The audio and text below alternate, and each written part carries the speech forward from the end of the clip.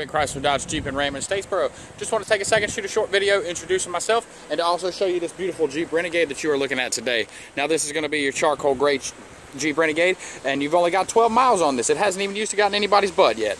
Now one good thing about this car, if you'll take a look at it, you see this little button on the side of the door handle here. Now if you're like me and you've locked your keys in your car multiple times, then that button's going to recognize the key fob right here on the inside. You see we got that sitting right here. And on the inside here, we also have your black cloth leather interior to go with that. You've got your Uconnect screen, dual climate control, AM, FM, XM radio, navigation, all the bells and whistles on this Renegade. And you also have plenty of room in the back seat here to take your friends around, do whatever you might need to do.